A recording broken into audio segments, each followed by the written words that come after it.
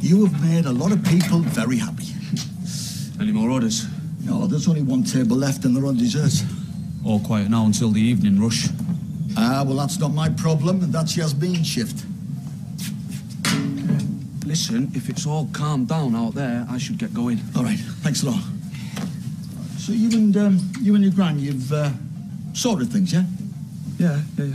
Oh, that's good, isn't it? Because uh, I don't envy you being on the wrong side of her. She's quite a lady. you don't happen to know what kind of chocolate she likes, do you? Sorry? Uh, you know, I'd just like to thank her for everything she's done for me. Yeah, I'm not sure. Sorry. I really should get off.